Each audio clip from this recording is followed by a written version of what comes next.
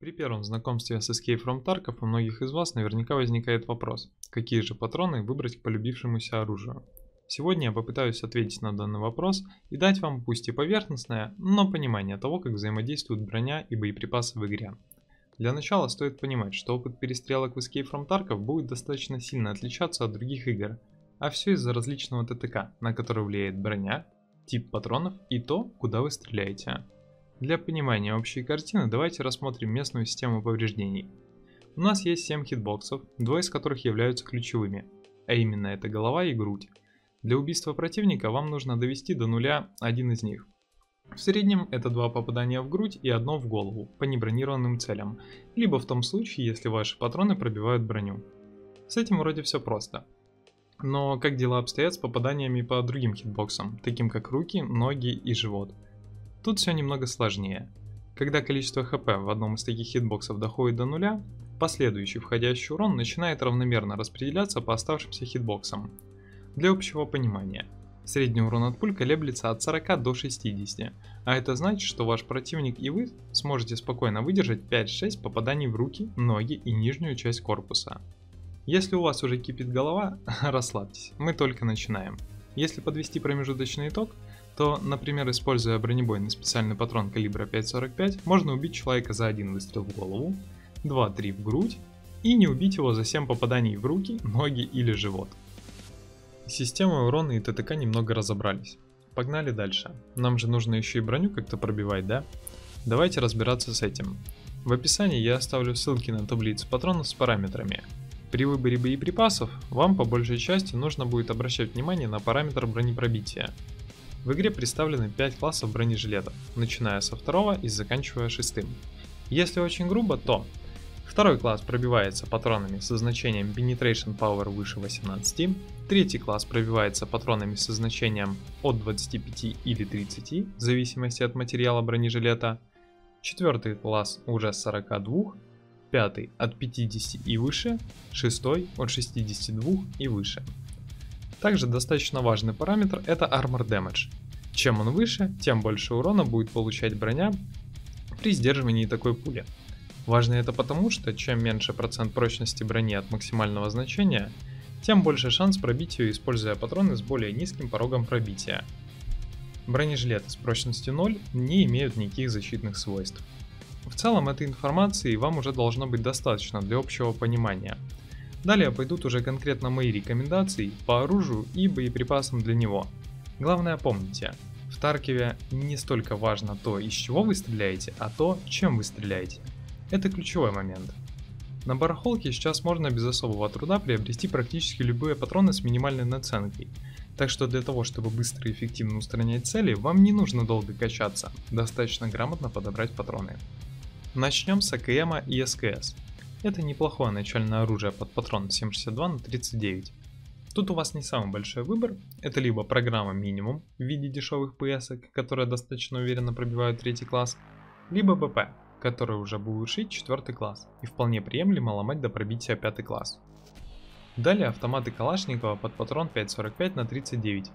Ультрабюджетный вариант это патроны ПП, повышенной пробиваемости. Они пробивают большую часть бронежилетов третьего класса, но в идеале использовать БП или БТ.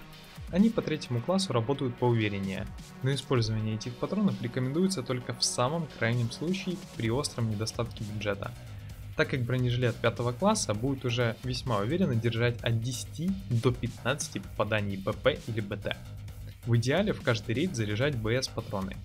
С ними вы будете пробивать все цели в средствах индивидуальной бронезащиты до 6 класса, но в текущих игровых реалиях встретить человека в бронежилете 6 класса практически невозможно. 7N39 я бы не рекомендовал, так как несмотря на колоссальную пробивную мощность, они имеют крайне низкий урон и практически никогда не будут убивать цель в грудь с двух попаданий. Следующими на очереди идут штурмовые винтовки аэросистем под патрон 5.56 на 45, а именно М4А1 и HK416. Тут ситуация схожая с АК, минимум М855, М855А1 и М856А1. Два последних типа патронов повышенной пробиваемости лучше, но для полного комфорта советую остановиться на М995. По большей части это аналог БС, но с более высокой начальной скоростью в 1013 метров в секунду, что делает их прекрасным выбором для марсманских сборок. Из пистолетов-пулеметов могу порекомендовать МП-7. Она хоть и стоит в районе 540 долларов, но не нуждается в дополнительном обвесе. Имеет отличные характеристики и хороший калибр, а именно 4,6 на 30. Тут можно использовать практически все, кроме Action SX. FMJ и Subsonic будут обеспечивать пробитие третьего класса, а APSX будут уже и четвертого, что в целом для оружия с такой скорострельностью вполне достаточно. Далее идет достаточно специфическое оружие, а именно AS-вал и VSS под патрон 9 на 39. Не рекомендовал бы его новичкам, но если все же есть желание опробовать, то лучше использовать SP6. Четвертый класс они, конечно, уже не пробьют, но за счет высокой скорострельности и кучности оружия, а также хорошим параметром урона по броне, они приемлемо справляются с целями, облаченными даже в пятый класс брони. Что касаемо такого оружия, как М1А, РСАС и СА-58 под винтовочный патрон 7,62 на 51, то тут все просто. Только М80. Его будет более чем достаточно для пробития брони 5 класса. М62 не рекомендовал бы из-за неоправданно высокой цены. А М61 в подавляющем большинстве перестрелок будет менее эффективен ввиду большой редкости брони 6 класса.